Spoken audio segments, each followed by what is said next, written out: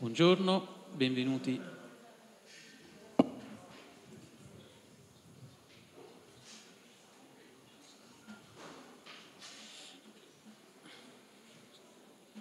Buongiorno, allora grazie di essere tutti qui, benvenuti a questo incontro eh, del quale sono particolarmente eh, diciamo, orgoglioso che siamo riusciti a metterlo in piedi. Eh, siamo molto fortunati infatti oggi di avere eh, con noi Nona Michelidze, che è una ricercatrice eh, nata in Georgia e ormai in Italia da una ventina d'anni, ehm, per parlare de- della guerra in Ucraina, guerra in Ucraina che è cominciata diciamo, nella sua fase attuale il 24 febbraio 2022, quindi siamo quasi a mille giorni dall'inizio del, eh, de- della guerra, come dicono lì a tutto campo, una guerra che però è cominciata dieci anni prima con eh, l'invasione surrettizia eh, dell'Ucraina da parte eh, della Russia. E dicevo siamo fortunati perché eh, Nona è, è, con noi dopo un lungo viaggio di diversi giorni che l'ha portata da Kiev, dove eri fino a pochi giorni fa, eh, a Conversano. E, e, volevo cominciare l'incontro proprio, eh, proprio col, chiedere, eh, col chiederti Nona eh, che cosa, che, cosa, porti con te da questo, da questo tuo soggiorno e qual è il, lo stato d'animo degli ucraini in questo momento, come, come, insomma, che aria tira dopo appunto mille giorni di, eh, di guerra a tutto campo? Buongiorno, uh, innanzitutto volevo ringraziare gli organizzatori per, uh, per l'invito, te è un piacere per me essere qui e avere la possibilità Uh, di parlare di Ucraina e di condividere con voi l'esperienza recente di stare in un paese di guerra e condividere anche le emozioni insomma, che si prova uh, in questi casi, specialmente con, con, i giovani, quindi fa piacere che appunto giovani si interessano di, di, di questi, questi, temi. Questo è stato il mio terzo viaggio dall'inizio della guerra in Ucraina. Prima sono stata varie volte perché appunto l'Ucraina, così come tutto lo spazio ex sovietico, rientra un po' nel mio campo di ricerca, quindi mi occupo ormai da, da anni i temi che riguardano anche i processi di democratizzazione di, di, di questi paesi ma appunto dall'inizio della guerra sono andata per la terza volta, quindi uh, ho potuto anche fare un'analisi comparativa no? di come sono stati ucraini, come affrontano la guerra o avevano affrontato nel primo anno di invasione e come li ho trovati uh, quest'anno. Uh, e c'è aspetto umano, poi c'è aspetto politico, aspetto economico oh, de, delle condizioni eh, del, del, paese. E vorrei cominciare dal, dall'aspetto uh, umano perché poi questa guerra purtroppo è mm, quella che non si concentra solo su campo di battaglia, questa non è guerra dove si scontrano i soldati di due paesi, questa è guerra dove la Russia fa la guerra ai civili ucraini uh, ogni giorno uh, e le vittime sono dei, dei civili. E questo si capisce molto bene una volta arrivati in Ucraina già dal fatto che non c'è un giorno in cui non ci sia allarme, in cui gli ucraini non sono chiamati di andare eh, nei bunker antiaerei e questo accade di notte um, ed è anche per questo che mi, eh, insomma, uh, uno degli ultimi sondaggi fatti dice che uh, circa 9 milioni ucraini hanno mostrato un disordine psicologico uh, dopo tre, tre anni di guerra. Questo vuol dire quasi ogni terza persona in Ucraina perché appunto uh, l'Ucraina adesso uh, dentro il suo paese conta 20, circa 27 milioni, 8 milioni sono in emigrazione forzata, rifugiati in, in Europa, altri sono uh, sul, sul, fronte e con terza persona accusa un disordine psicologico da quelle condizioni in cui gli tocca di, di, fare la resistenza. Uh, se uno visitasse i regioni più vicini al fronte all'Ucraina si accorgerebbe che gli uomini e donne nei suoi 30 anni tutti hanno già i capelli grigi.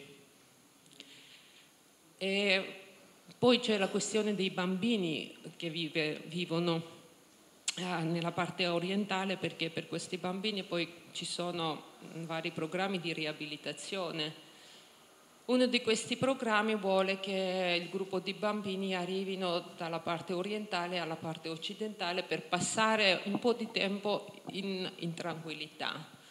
E si sono accorti che i bambini portati dal, dall'Oriente, una volta arrivati in Occidente, dove come, comunque ci sono degli allarmi, non mostrano alcuna reazione sugli allarmi o sul, sui rumori di antiaerea antiaerea c'ha un rumore di esplosione della bomba, poi adesso gli ucraini hanno imparato di, di distinguere qual è, qual è, il rumore dell'esplosione di un missile e, quando, e, qual è il rumore dell'esplosione di antiaerea che riesce a colpire il missile e abbatterlo. Uh, ecco, i bambini non mostrano più alcuna reazione uh, a, a, a questo tipo di rumori, ma di più hanno avuto la difficoltà per una settimana di dormire in silenzio. Sono talmente abituati ai rumori di, di guerra. Questo per dire uh, le, di parlare de, della traccia di guerra che sta già avendo uh, sul, sugli ucraini, ma nonostante ciò uh, se uno mi chiedesse riassumere in uh, due parole la condizione degli, uh, degli ucraini è quella della morte e della vita nello stesso tempo, della caduta e del rialzo. E questo gioco fra morte e vita si nota anche viaggiando e vedendo i posti distrutti, ma poi vedere anche i cantieri, cantieri subito per ricostruire eh, quelli posti distrutti. Saranno queste le scuole, gli ospedali, infrastrutture civili, perché la Russia poi bombarda proprio uh, le infrastrutture civili, i ponti, eccetera. Uh, quindi c'è questa resilienza, la resistenza insieme ad enorme ovviamente stanchezza, ma c'è la percezione, uh, e come ci, ci, mi è stato detto lì, um, che comunque non può che andare bene, perché loro dicono noi siamo condannati di essere ottimisti, altrimenti nelle guerre, e loro questo percepiscono come una guerra di genocidio, perché si sentono attaccati nel loro essere ucraini, attaccati per obiettivi di cancellare la loro identità, perché appunto uh, di come insomma, vengono bombardate le infrastrutture civili poi, e di come la Russia sta amministrando i territori occupati. Ormai insomma, ci sono vari mh, mm, rapporti del, delle Nazioni Unite, più di ventina, Uh, che descrivono le condizioni degli ucraini nei territori occupati e che parlano delle, delle camere di tortura dove appunto uh, vengono presi ucraini torturati, accusati, che passano l'informazione ai soldati e quindi uh, o costretti di, di, mm, rifiutare il passaporto ucraino o, insomma, o se magari li trovano la bandiera ucraina a casa vengono subito sottomessi alle torture. Uh, lì appunto tutta questa guerra poi fa percepire agli ucraini che è proprio contro di loro quanto ucraini, che lì vengono meno poi tutte le discussioni che facciamo noi qua in, in, in, Europa o in Occidente, geopolitici, gli interessi degli Stati Uniti, la Nato, l'Unione Europea, eccetera. Lì eh, la guerra è molto più umana in quel senso che è, è, si sentono proprio attaccati nell'essere loro esseri umani, essere esseri ucraini. Quindi eh, se primo anno, eh, quando sono andata, primo anno di guerra, li ho trovati eh, in qualche modo ehm, feriti e stupiti dal livello della crudeltà, eh, ma soprattutto mh, uh, secondo me uh, il più male che faceva a lui era, a loro era la domanda su quale non, trovano, non trovavano la risposta. Adesso come se hanno abbandonato la ricerca quella risposta, ma il primo anno c'era sempre uh, nella loro testa di, quasi ossessione di trovare la risposta alla domanda perché. Perché ci hanno fatto questo e perché ci trattano così, perché comunque con tutta questa narrativa che i russi stavano diffondendo no? sulla fratellanza fra la Russia e Ucraina, sul popolo quasi unico, eccetera. Poi al di là della propaganda, effettivamente lì ci sono tanti matrimoni misti fra ucraini e russi, quindi parentele uh, in Russia e vice, viceversa e quindi non si capacitavano, nonostante la guerra non è cominciata il 24 febbraio 2022 ma è cominciata nel 2014, comunque eh, era molto concentrata uh, nella regione di, di, Donbass dopo l'annessione della, della Crimea e lì eh, paradossalmente i rapporti fra i russi e ucraini non sono uh, stati rovinati del tutto, insomma non si sono spaccati le famiglie, mentre questa guerra uh,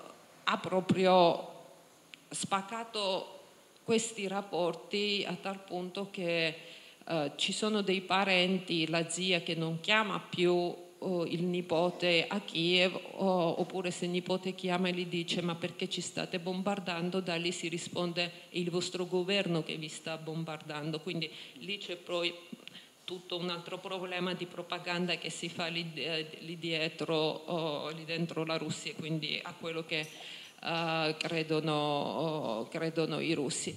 Quest'anno, quindi prim, prim, primo anno, era proprio quel stupore, quel dolore di eh, sentirsi quasi traditi ecco, nel, nel, nel, nel profondo. Uh, io mi ricordo quando ci hanno portato in una città, uh, in un villaggio che si chiama Yahidne, nella regione di Chernihiv, al confine con, uh, con il Belarus. Uh, Yahidne è stato occupato in una settimana dopo l'invasione russa e i russi, i soldati russi hanno raccolto 370 abitanti del villaggio e li hanno rinchiusi per un mese in una sottoterra della, de, di una scuola. In quella sottoterra eh, volevano fare una palestra che non si è mai fatta, quindi una, uh, un posto di uh, cinque stanze piccole dove sono stati rinchiusi 370 persone, da cui 77 bambini. La bambina più piccola aveva due mesi. E a raccontare la loro storia è stato uno dei sopravvissuti, Ivan, un uomo di 63 anni, che dice che per ciascuna persona c'era 50 centimetri solo. Uh, noi non, potevamo neanche straiarsi, dovevamo essere seduti per quasi un mese Uh, con i gambi gonfi, che la pelle che si spacca perché appunto non riesci a straiarti. 11 persone morirono lì prim- in prima settimana della prigionia, uh, largamente eh, de- degli anziani perché c'era il problema anche di respirare i russi non per, eh, permettevano di seppellire i cadaveri in decomposizione. Solo dopo alcuni giorni eh, gli hanno permesso di portare nel giardino della, uh, della, della scuola i cadaveri e mentre scavavano la fossa hanno cominciato a sparare per spaventare gli, gli altri. Poi minarono il percorso del bagno fra la eh, sottoterra e fuori nella, nel giardino della scuola per evitare che gli ucraini scappassero. E quando vai in questo posto vedi insomma, le mura con i disegni dei bambini, no alla guerra. Mm.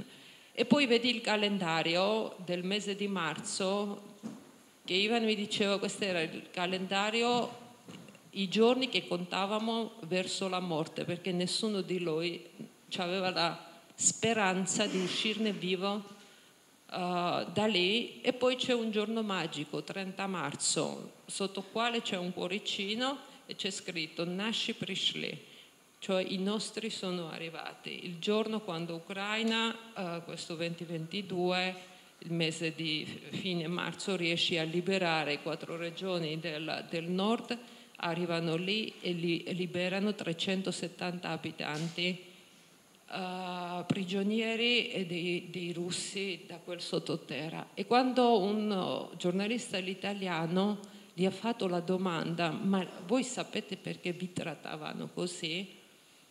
Lui ha detto no, per loro eravamo meno dei cani. Quindi questa è la sensazione di essere meno dei cani, uh, un po' di tutti gli ucraini in guerra.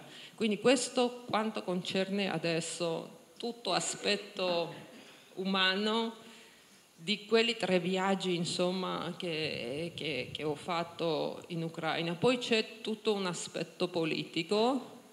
Uh, ecco sì. appunto, abbiamo parlato dell'aspetto umano e ti ringrazio per queste, questi resoconti, queste testimonianze.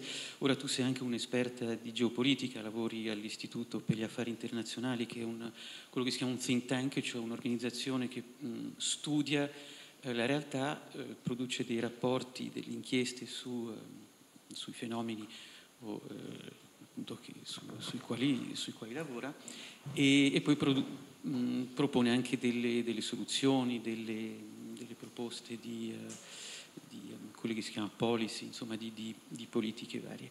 E, mm, e, quindi ti sei interessata anche molto al versante politico. Ora, non, siccome abbiamo un pubblico di ragazzi che magari ha gli aspetti più, eh, diciamo, più di, di, geopolitica, eh, non so se si interessano, e comunque se avete domande eh, avremo un po' di spazio dopo, o se c'è qualcosa che non è chiaro non esitate ad alzare la mano a chiederlo, non c'è niente di male in un in un contesto così complesso a, a, che, a che, le cose non siano eh, del tutto chiare, appunto. Ehm, dal punto di vista invece eh, sì, delle, della politica dei, dei, dei governi, ehm, dove, sta, dove, sta, andando questa guerra, quali prospettive di, di, di soluzione ci sono.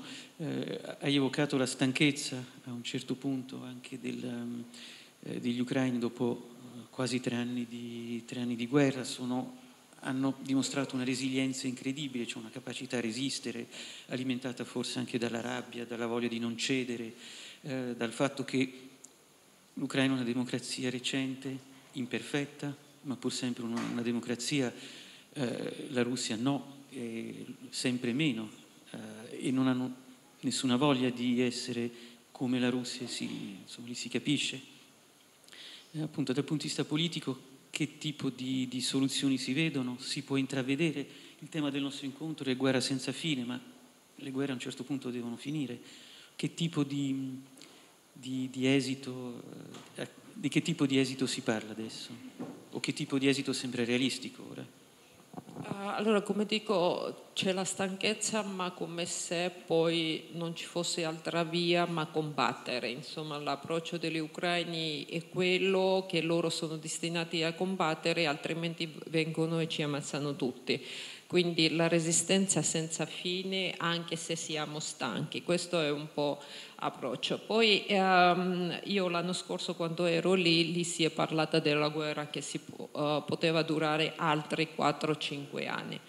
Uh, quindi adesso siamo un anno dopo, quindi altri 3-4 uh, anni e si faceva riferimento ai studi che si sono fatti anche sulle risorse attuali e lo, il ritmo di, e capacità della Russia di produrre le armi, insomma, quindi 4-5 anni è considerato quell'arco quanto ecco, la Russia dovrebbe eh, eh esaurire, avere già difficoltà uh, di mh, mm, esaurire le scorte e avere, la difficoltà di, di produrre uh, nuove armi nelle condizioni delle sanzioni. Uh, poi la, la, durata della guerra ovviamente dipende non solo dagli ucraini ma dipende dalla politica dell'Occidente, perché se l'Ucraina oggi sta in piedi è grazie innanzitutto della resilienza e della resistenza degli ucraini, dei soldati, dei civili, quindi della resistenza militare e civile, ma ovviamente è grazie anche all'Occidente eh, che uh, manda le armi e permette agli ucraini di resistere. Ma la politica dell'Occidente, dell'amministrazione Biden, molto appoggiata dalla Germania, del cancelliere Scholz, è stata sempre quella di escalation management, cioè gestire l'escalazione, eh, che si può tradurre così. L'Ucraina Uh, non deve perdere, ma questo non significa necessariamente che l'Ucraina debba vincere questa guerra, perché eh, in, um, in Occidente c'è la paura, ma senza soprattutto della visione e della strategia nei confronti della Russia. E c'è la paura della sconfitta della Russia c'è la percezione che la sconfitta della Russia causi poi degli eventi incontrollabili dentro la Russia che magari porta alla disintegrazione del paese. E la Russia comunque è un paese nucleare, quindi c'è la paura anche nelle mani di chi possono cadere gli armamenti nucleari, quindi uh, l'approccio dell'Occidente in questi... Eh, due anni e mezzo, in contrario a quello che si dice poi nel dibattito italiano, che è un, tutto un altro capitolo, secondo me, poi affrontare anche il dibattito malsano e quanto è stato malsano il dibattito italiano sulla, sull'Ucraina e la guerra, che ecco, cosa vogliamo, insomma, sconfiggere la Russia, arrivare a Mosca. In realtà l'Occidente non ha mai voluto sconfiggere la Russia. L'Occidente da quel quantità di armi che permette all'Ucraina di tenere il fronte e di non permettere a, a nessuna delle parti di avanzarsi più di tanto. E nella strategia occidentale questa condizione di stallo, infatti quello che abbiamo visto noi ultimi un anno e mezzo era una guerra di stallo, dovrebbe spingere alle parti del, del conflitto di sedersi al negoziato, di, di, di, pensare che ok, insomma, da un anno e mezzo mm, qua non si muove e quindi conviene di, di negoziare. Solo, sì, che... solo per precisare, è da un anno e mezzo che la situazione sul fronte è grosso modo ferma, vuol dire che la Russia occupa circa il 20% del territorio ucraino. Voi immaginate eh, per fare un paragone con l'Italia, eh, l'Italia ha 20 regioni, il 20% sono 4 regioni, immaginate 4 regioni italiane occupate da un paese ostile e straniero. Adesso stiamo cercando di mostrare una mappa dell'Ucraina sullo schermo così potete avere un'idea un po' più chiara. E, e la situazione è ferma appunto da, da, quasi un anno e mezzo, eh, però non è che non succede nulla, nel frattempo... Eh, L'operazione Kursk appunto. Sì. Uh, quindi questo è stato l'approccio de, de, degli occidentali, condannare l'Ucraina appunto di combattere, di avere quel abbastanza le armi per tenere in fronte, ma non andare seriamente sulla, sulla offensiva.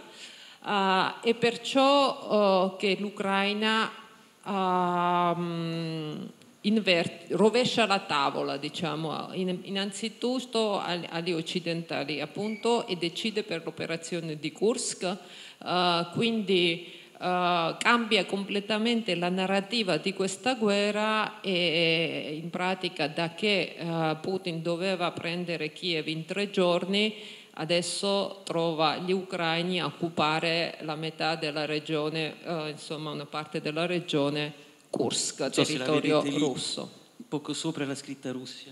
Sì, e poco sopra c'è scritto Kursk. Gli ucraini, insomma, a inizi di, di agosto uh, hanno attraversato il confine e sono andati a occupare uh, il territorio russo che ovviamente nella strategia ucraina uh, mira al rafforzamento nelle loro posizioni in un eventuale negoziato dove poi trattare uh, la terra, insomma io ti ridò questo e tu mi ridai questa, quest, quest'altro. Uh, quindi la situazione oggi da parte dell'Occidente per adesso non è cambiato, poi adesso sappiamo che Zelensky sta in viaggio negli Stati Uniti, uh, però oh, la posizione occidentale per adesso, vediamo cosa ne esce fuori da questo viaggio, ma per adesso rimane questo, che insomma noi appoggiamo l'Ucraina, ecco, uh, però oh, la nostra speranza è il negoziato, mentre l'Ucraina dice che Guardate, se vi ricordate luglio Zelensky aveva detto che i russi potevano attendere il summit di pace a novembre. In estate eh, si è fatto il primo summit di pace eh, al cui la Russia non ha partecipato, dopodiché gli occidentali, i paesi di, del sud globale hanno pratica fatto la richiesta da Zelensky di invitare i russi al secondo summit della pace e Zelensky lo ha fatto, lo ha fatto per mostrare poi ai occidentali che guardate io li invito, ma poi vediamo se loro vengono. E in effetti due giorni fa portavoce del Ministero degli Affari Esteri russo Maria Zakharova ha dichiarato ufficialmente che la Russia non intende di partecipare al summit di pace a novembre e non intende in generale discutere su nessuna soluzione del conflitto che non sia quello uh, di considerare la situazione attuale, cioè che cinque regioni dell'Ucraina, che sono Kherson, Zaporizhia, Crimea, Lugansk e Donetsk appartengono alla Russia, ma la situazione attuale è che la Russia non sta neanche occupando l'intera regione Kherson e l'intera regione della Zaporizhia o l'intera regione della Donetsk, ma pretende nella sua Costituzione ha incluso in realtà tutte le regioni che non sta neanche occupando fisica, fisicamente, quindi pretende che gli ucraini si ritirino volontariamente uh, da, dal resto di, di, di queste regioni. Solo perché hanno deciso che ormai è Russia. Senti, hai, eh, non, hai, hai, evocato diverse cose nel, nel tuo ultimo intervento, eh, in particolare eh, hai evocato la pace, che eh, qui in Italia è considerato come un, uno dei valori supremi eh, quando si parla di, di politica internazionale. Insomma, L'Italia ospita un movimento pacifista molto importante, eh, la, il ripudio della guerra è inserito nella sua Costituzione, l'articolo 11, ehm, e l'Italia è sempre stato no, un pochino in bilico tra questa posizione di difendere la fine delle ostilità a tutti i costi e sostenere eh, invece lo sforzo di resistenza eh, degli ucraini. Eh, in questo momento, proprio mentre parliamo, eh, il presidente ucraino Volodymyr Zelensky è all'Assemblea generale dell'ONU e dice di aver portato con sé il suo piano per la vittoria, che eh, è il termine che gli ucraini preferiscono usare eh, rispetto a quello di pace perché eh, pace può essere ambiguo nel contesto ucraino appunto. Allora, si sa qualcosa di questo, di questo piano e qual è la pace o la fine della guerra che potrebbe andare bene eh, agli ucraini o che, in, che, dire, eh, o che sono disposti ad accettare? Allora sì, perché allora loro che ha, hanno due piani, uno che si chiama piano di pace fatta di 10 punti, formula di pace, eh, e poi c'è questo piano di vittoria che dovrebbe mettere uh, l'Ucraina in una posizione rafforzata in un uh, uh, eventuale negoziato che secondo ucraini se dovrebbe essere pace, pace dovrebbe essere giusta. Uh, pace giusta significa le garanzie di sicurezza per l'Ucraina innanzitutto. Uh, significa risarcimenti per il danno che si è fatto a questo paese, non solo economico che è enorme, ma anche significa giustiziare i criminali eh, di guerra. Processare, giustiziare. Sì, no, processare. quello è il mio italiano, scusate, che, che non è perfetto. um, uh, uh, processare, insomma, appunto, um, i, criminali di, di, di, i criminali di guerra, quindi fare il processo in generale sui crimini di guerra che compiuti sul territorio um, ucraino e uh, appunto avere delle garanzie che una volta finita questa fase di conflitto, in qualsiasi modo essa finisca, non sarà questo il cessate fuoco su una certa linea del fronte, sarà questo il ritiro russo, della Russia o meno, uh, le garanzie per l'Ucraina che in un domani la Russia non attacca il paese di nuovo. Uh, quindi questo piano di vittoria potrebbe anche includere appunto certe richieste in quel senso, insomma, perché quale potrebbe essere la garanzia di sicurezza per l'Ucraina? E qua si parla poi della integrazione della Nato per, perché l'Ucraina non può affidarsi alla sicurezza data dai singoli paesi, data da Biden, perché Biden Uh, ecco, Harris magari non sarà rieletto a novembre e così, cioè nel senso, data uh, le, le, garanzie uh, da un paese dove ci sono sempre le elezioni, arriva il leader, può, qualsiasi leader può poi insomma, rifiutare di prendere in, e implementare impegni presi del governo precedente. Per questo si dice che insomma, non c'è uh, la um, garanzia più valida di sicurezza che è l'articolo 5 della Nato, che a questo punto io aggiungerei serve più a noi e non solo all'Ucraina. Se per esempio prima della guerra 2022 a, integrazione dell'Ucraina nella Nato era percepita come Uh, un valore aggiunto solo ucra- agli, agli, ucraini, era all'interesse agli ucraini, mentre noi insomma, la percepivamo come uh, un qualcosa che magari ecco, non valeva la pena provocare la, la Russia, uh, adesso vedo anche personalmente come unico modo di prevenire le guerre future, perché Uh, in quel modo la Russia insomma, ci penserebbe due volte attaccare un territorio che è già incluso uh, nella Nato. Quindi uh, secondo me si dovrebbe pa- cambiare anche il modo di pensare sull'integrazione della Nato o dell'Ucraina nella Nato come la misura di prevenzione di guerra e non necessariamente di, di escalation. Ecco. Eh. Ricordiamo che l'articolo 5 del, del, dell'accordo NATO che non ha evocato è un po' il fondamento dell'Alleanza Atlantica e stabilisce, per semplificare, che un attacco contro un qualsiasi membro, eh, un qualsiasi Stato membro della Nato equivale a un attacco contro l'intera alleanza che quindi reagirebbe eh, in, modo, eh, in, modo, compatto. Ed è quello che ha garantito in un certo senso l'equilibrio del terrore durante la guerra fredda, così si chiamava, eh, perché c'erano questi due grandi blocchi, la Nato da un lato e il patto di Varsavia, che era l'alleanza costituita intorno all'Unione Sovietica, l'antenata eh, della Russia attuale, e i due si garantivano che non avrebbero attaccato l'uno non avrebbe attaccato l'altro eh, perché ci sarebbe stata la cosiddetta distruzione eh, mutua e questo era l'equilibrio del terrore.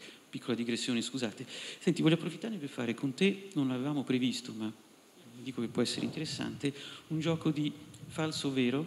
Io ti faccio delle domande eh, che eh, ci si fa molto spesso intorno al conflitto in Ucraina e tu mi rispondi vero o falso.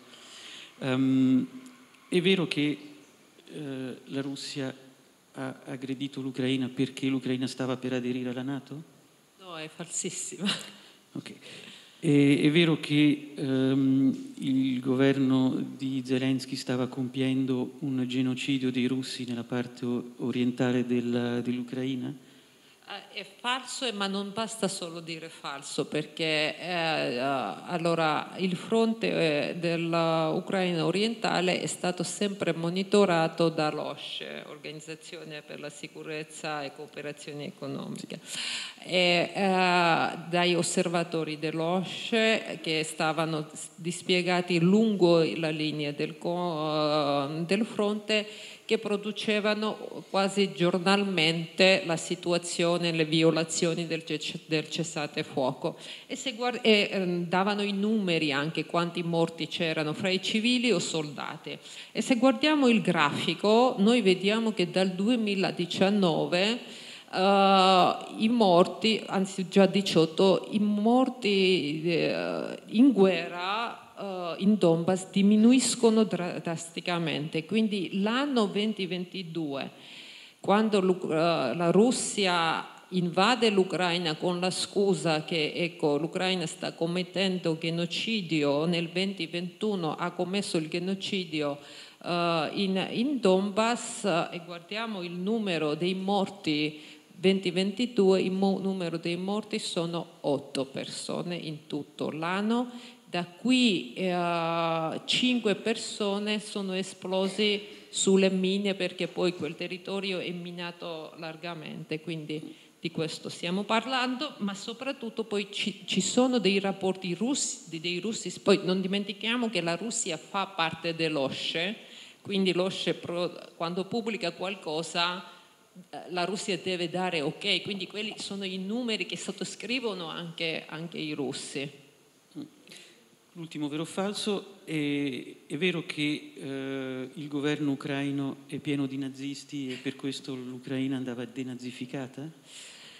Uh, questo è anche una cosa falsa su quale si è speculato molto, soprattutto in Italia, e non c'è un altro paese in Europa dove sia stato prodotto così tanta disinformazione russa e dato così tanto spazio alla disinformazione russa come, come in Italia. Uh, quanto ai neonazisti, vi dico che l'ultimo oh, elezioni parlamentari in Ucraina tenute nel 2019 Uh, un partito della destra radicale non ha potuto oh, raggiungere threshold, da, la soglia di sbarramento. Da soglia di sbarramento e non è entrato neanche, neanche in Parlamento.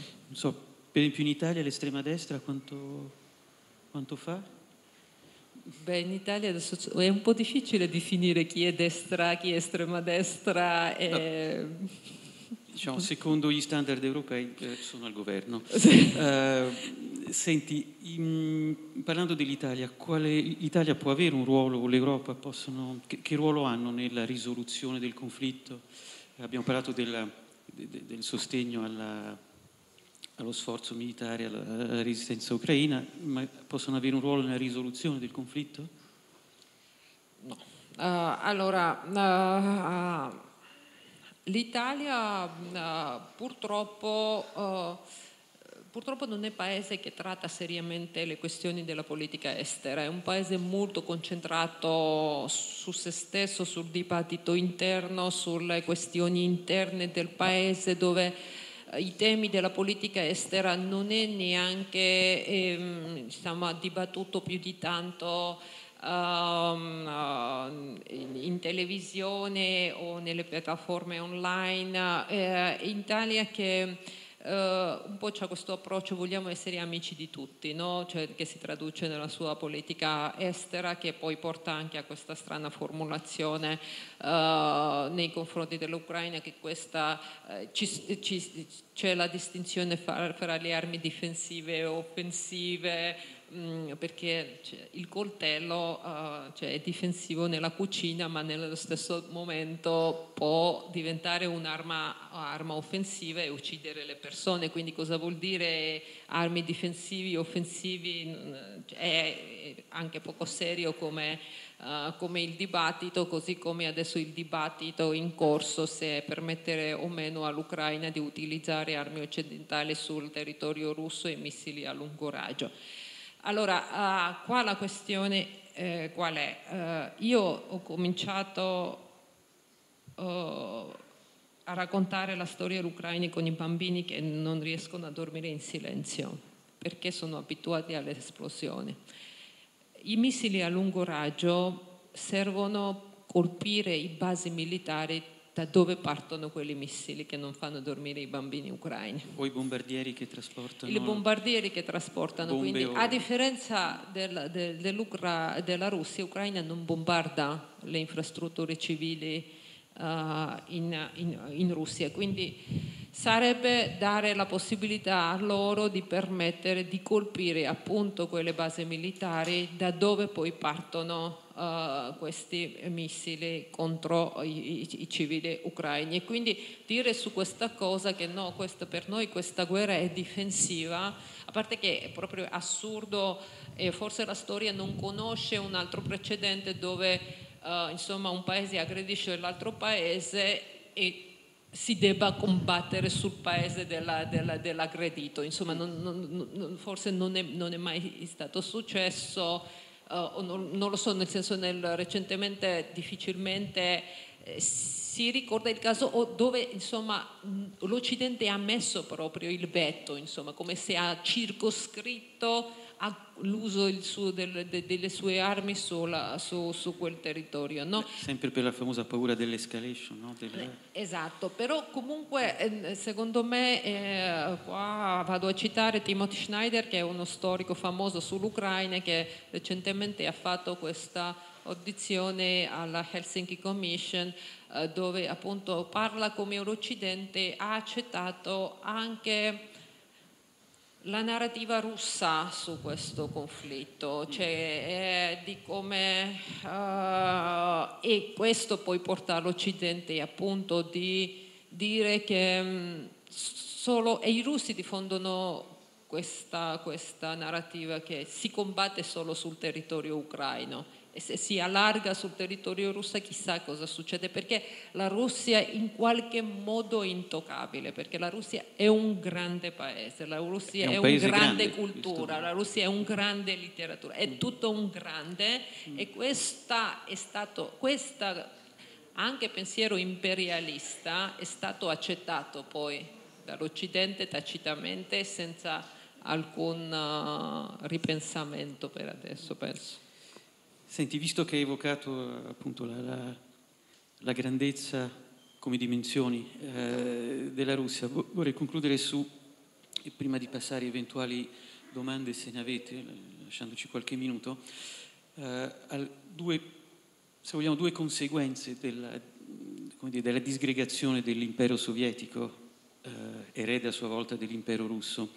Eh, nel giro di meno di una settimana, tra il 20 e il 26 ottobre, due ex repubbliche sovietiche, eh, la Moldova, eh, che qui vedete chiamata Moldavia, insomma sono, si possono chiamare nei due modi, e la Georgia, che è il paese dove sei nato, che invece è più a est ed è un, eh, un paese del Caucaso che confina tra l'altro con eh, la Turchia a sud e eh, la Russia a nord, eh, devono votare per delle elezioni che sono considerate molto importanti, delle elezioni eh, legislative e refer- eh, presidenziali e un referendum sull'adesione all'Unione Europea in Moldova e eh, delle elezioni legislative, quindi politiche, in Georgia, e sono due paesi che sono un po' in bilico perché c'è una, come dire, c'è, nel, nel, caso, in entrambi ci sono delle truppe russe presenti sul loro territorio eh, e in entrambi i casi le elezioni decideranno se, diciamo se fosse una moneta in bilico,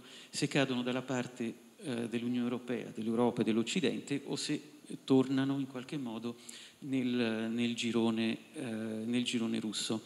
Um, quali sono poi le conseguenze, quali possono essere le conseguenze dell'una e dell'altra scelta? Ce lo puoi dire breve, brevemente, sono questioni complesse, ma in, in poche parole. Uh, sì, innanzitutto secondo me ehm, uh, questo non è solo la battaglia uh, ecco, fra Unione Europea e la Russia sulla Moldavia e la Georgia, perché appunto nel mezzo poi si perde la soggettività, questo agency di cui appunto parliamo, è Quel, difficile. Quello che pensano veramente o che possono fare i cittadini. esatto i paesi in mezzo, perché, uh, perché, poi nel dibattito si dice sempre che ah, l'Unione Europea non doveva infer- inferire nei, nei, negli affari uh, del vicinato della, della Russia, loro hanno i rapporti storici, ecco non doveva provocare la Russia, eccetera. In realtà è la scelta che hanno fatto questi paesi una volta trovati davanti al collasso dell'Unione Sovietica e pensando al loro sviluppo, in quel caso quando sei un paese piccolo e ti guardi in, intorno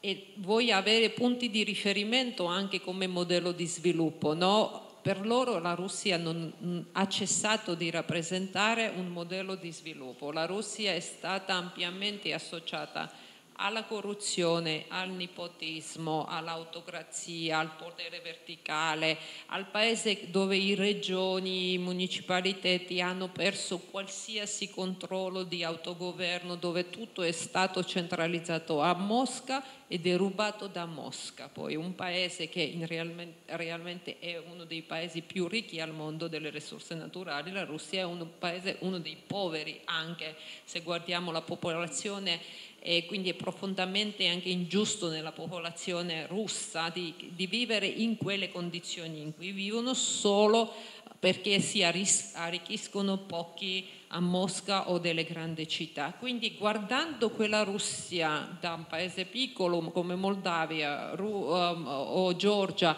o anche Ucraina in termini non perché l'Ucraina poi è un territorio grande, è uno dei paesi più grandi della, della, dell'Europa, ma piccolo come peso politico diciamo, nelle relazioni internazionali, guardando quella Russia, quella Russia ha cessato di essere un modello di sviluppo e poi si è guardata all'Europa dove ha prevalso un fattore umano di volere vivere la vita migliore. E quindi in Europa si attira in realtà quello, cioè quando si viaggia, si arriva e si vede che la gente qua vive in libertà e nel benessere è anche un fattore umano di saper distinguere insomma da che parte si vive meglio e umanamente poi si sente attirati dal, dal benessere, dalla libertà, cioè l'essere umano nasce libero e quindi, ma soprattutto poi i paesi che hanno esperienza di due anni del colonialismo,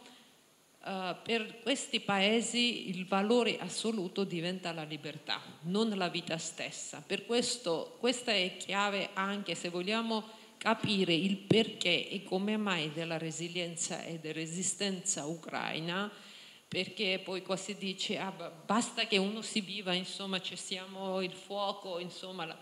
però in questi paesi che hanno vissuto il colonialismo, la vita sotto la schiavitù non c'ha quasi valore, quindi il valore primario diventa la libertà. E quindi eh, le scelte che si aspettano alla Georgia e alla Moldavia, la Georgia è un caso un po' più difficile perché mh, mm, non penso che in Moldavia alla fine ci sarà un problema per Maya Sandu, presidente moldavo, e le forze pro-europee vincere il referendum, mentre in Georgia uh, la situazione è più difficile, non è detto che anche vincendo l'opposizione eh, elezioni il governo poi accetti il risultato e quindi può darsi, non dico Venezuela, però eh, che ritroviamo in una situazione eh, dove ci saranno nece- necessarie manifestazioni per difendere eh, poi il eh, veto. Quindi quando si dice c'è la scelta fra Europa e, e, la Russia veramente è la scelta fra democrazia e autocrazia e questa non è la retorica, questa è la scelta sul proprio modo di essere mo- e voler modo di vivere, insomma, nella libertà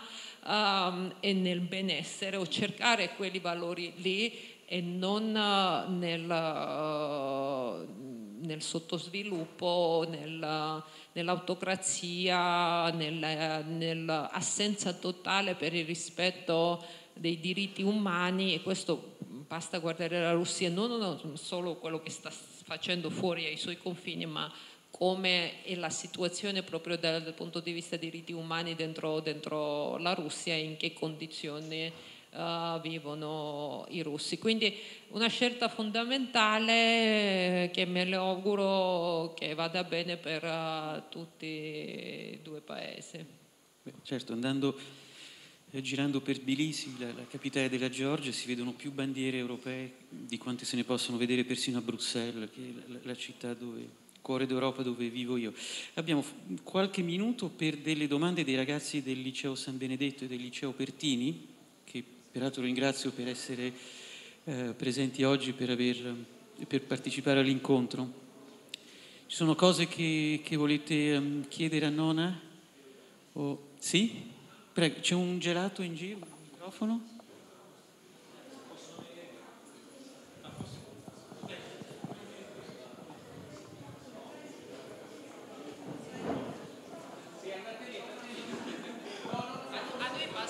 A noi basta una sola. Basta. Eh, sul Mossad, cosa ci sapete dire? Allora, uh, allora, questa è un'altra cosa, voi siete liceali e vi invito a questa riflessione. Uh, uno dei grandi peccati del dibattito pubblico in questo paese è questo e voi dovete essere molto più ambiziosi di avere l'opinione di qualità. L'opinione di qualità vuol dire che ognuno debba parlare di quel tema che si occupa non esiste, non credete agli esperti che oggi vi possono parlare di ai esperti che oggi vi possono parlare del Medio Oriente, dell'Israele-Palestina, del Libano, di Mossad e nello stesso tempo parlare di Ucraina e della Russia. Questo si chiama, non si chiamano esperti, si chiamano dei ciarlatani.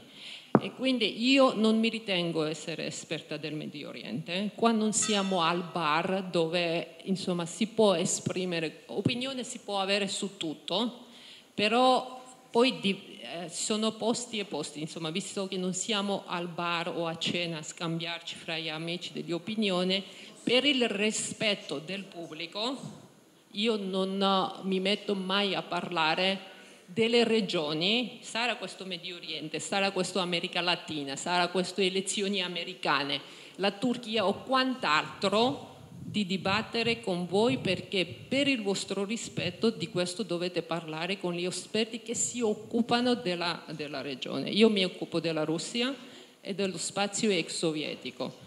Quindi sono più che felice di condividere la mia sapienza, la mia esperienza sulla regione ma anche voi, insomma, affinché se vogliate di avere un'informazione di qualità, cercate appunto di averla dagli esperti veramente di materia e non dai tutologi che inondano uh, il dibattito pubblico.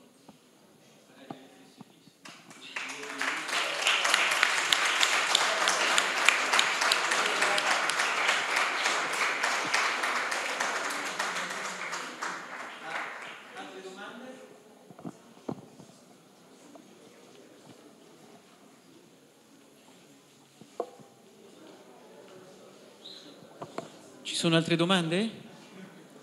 Comunque forse Nonna potrebbe parlare dell'FSB, del GRU, del... Ah, prego signore. Ah.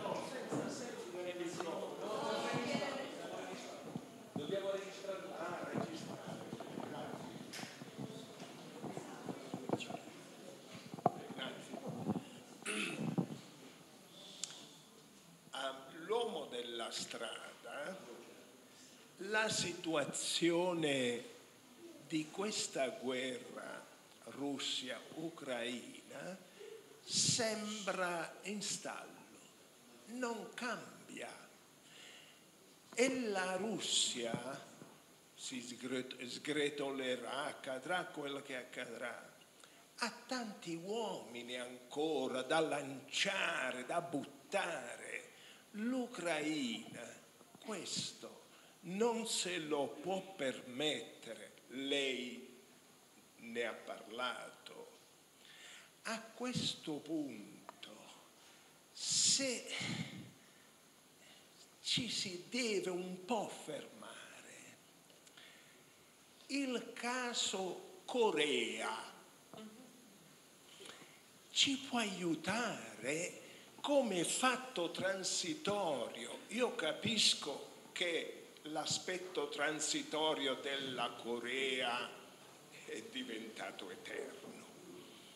Questo è un punto, la prego brevemente, gentilmente, perché l'altro punto, riesce ad andare a Mosca lei personalmente, tranquillamente? Grazie. Uh, allora, uh, grazie della domanda. Uh, ci sono tre domande in realtà lì. Uno sulla risorse uomini, da un lato e dall'altro. Eh, e se eh, avere un, a disposizione un'infinità di uomini è la garanzia di vincere le guerre. Allora, guardando alla storia, l'Unione Sovietica, che era molto più forte della, della Russia, ha perso Afghanistan. 1979 invade Afghanistan e Gorbaciov poi è costretto a ritirarsi dieci anni dopo essere sconfitto in Afghanistan, che a sua volta porta, è stata una delle cause del collasso dell'Unione Sovietica e fra l'altro oh, porta, insomma, costringe Gorbaciov a ritirarsi anche la situazione dei morti il numero dei morti che ha avuto la Russia in, in Afghanistan. Uh, nella, nelle guerre moderne, dopo appunto sopravvento, prende tanto la tecnologia um, uh, e non proprio, anche se questa guerra lo paragonano sempre alla prima guerra mondiale, la guerra delle trincee, eccetera, uh, comunque eh, anche l'operazione di Kursk insomma, ci, ci, dimostra che non necessariamente, ecco, se la Russia avesse avuto delle risorse infinite dei, dei, dei, degli uomini, sarebbe stato anche in grado di difendere i propri confini. Eh, Kursk è stato possibile perché la Russia non ha avuto abbastanza risorse per mandare subito a Kursk perché sono passati già quasi un mese e mezzo che gli ucraini stanno, anzi stanno avanzando ancora in Kursk la Russia ancora non è in grado perché non vuole togliere le risorse dalla uh, Pokrovsk in Donbass dove uh, vuole avanzarsi e mandare su Kursk. Eppure vediamo che non ha le risorse in aggiunta appunto da un lato tenere la, il fronte sotto e poi mandare anche a Kursk in difesa. Il problema delle risorse degli uomini in Ucraina attualmente non è nei numeri ma negli armamenti. L'Ucraina oggi come oggi potrebbe mobilizzare altri 300.000 uomini ma non ci avrebbe neanche modo di vestirli Uh, quindi, eh, perché eh, su questo ha parlato anche Zelensky, che ci sono 14 brigate pronte, ma in realtà sono, solo 4 sono armate. Quindi, insomma, uomini servono nel momento in cui sei in grado anche di provvedere l'attrezzatura uh, per, per, questi uomini. Questo quanto risorse militari. Uh, la seconda domanda sul modello del Corea del Nord. Il problema del Corea del Nord, il problema di quella soluzione è che la sicurezza del Corea del Sud, quando si sono divisi, poi è stata garantita dagli americani, 200.000 truppe degli americani che hanno dispiegato nel Corea del Sud. Questa è un'opzione che la Russia non accetterebbe mai, non andrebbe mai a questa soluzione di vede, vedere 200.000 soldati americani sul suolo ucraino, quindi è automaticamente escluso come via d'uscita da, da, da, questo, da, questo, conflitto. Non dico nulla che la Russia per adesso non mostra proprio nessuna apertura con, su nessun tipo di, di, negoziato. Quanto alla sua ultima domanda, se io potrei partire a Mosca, no. Io sono stato rifiutato del visto della Russia ben prima di 2022, io 2017 dovevo partire per Mosca a partecipare in una conferenza che appunto dopo 2014, visto che uh, i rapporti fra l'Occidente e la Russia si sono guastati per via dell'annessione della Crimea, poi si è creata questa iniziativa uh, che è partita dalla Commissione europea di far incontrare due gruppi di esperti, gli esperti russi con gli esperti occidentali che devono dibattere sui temi di possibile co- collaborazione, cooperazione, eccetera. Io sono stata inclusa nel gruppo degli occidentali Uh, e dovevo partire a Roma, uh, mi sono rivolta all'ambasciata, al consolato russo a Roma e loro non direttamente ma per i motivi dicono burocratici, non tempi abbastanza, non avevano a disposizione, mi hanno rifiutato il visto e quindi io uh, non, ho potuto, non, ho potuto, partire, non potrei partire neanche adesso, ma sconsiglierei agli occidentali viaggiare in Mosca per un semplice motivo e questo noi della Russia oggi purtroppo non abbiamo parlato, ma lo scambio dei prigionieri, magari l'avete seguito, eh, dove appunto uh, i attivisti politici e uh, i difensori dei diritti umani si sono, l'Occidente è stato costretto a ridare dei assassini indietro alla Russia per riprendere i difensori umani. Quindi anche se Uh, I giornalisti sono in buona fede e ovviamente è ammirevole il loro coraggio di andare, quello vuol dire di diventare ostaggi del paese perché quella è la politica appunto di raccogliere il materiale per poi usare come il mezzo di scambio, riavere i suoi spie e agenti spesso che sono anche assassini indietro. E quindi eh, i giornalisti così mettono, rischiano di mettere l'Occidente in quella situazione dove deve piegarsi poi alla Russia e ridare dei suoi assassini. Quindi non posso andare, ma non sarebbe neanche saggio di andarci per nessuno dall'Occidente. Grazie a voi. Grazie. E so- soprattutto Grazie agli organizzatori, grazie ancora una volta al Liceo San Benedetto e al Liceo Pertini e grazie soprattutto a Nona Michelizze di essere stata qui con noi oggi.